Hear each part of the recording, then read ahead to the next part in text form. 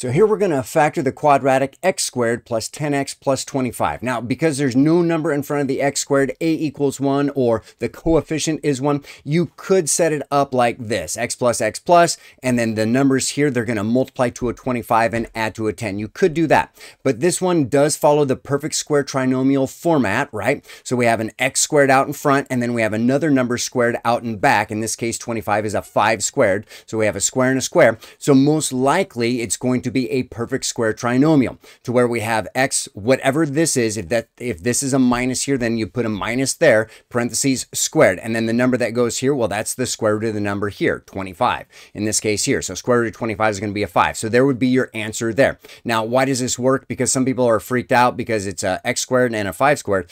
Well, where does that 10 come from? Well, remember, if you were to FOIL this out, this 2 means you have 2, x plus 5 is being multiplied. So your outers is a 5x and the inners is a 5 5x. 5x and 5x, you have two 5x's added up, make 10x there. So again, if you start with a square, you end in a square, you're most likely going to have a perfect square trinomial. So your answer will look like this. You just have to remember that this sign here matches this sign here.